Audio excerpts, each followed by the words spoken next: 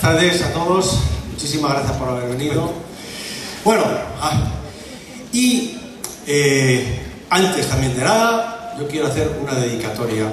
Quiero dedicar este concierto a un gran amigo mío que era un navegante maravilloso, tenía un velero y navegaba de maravilla.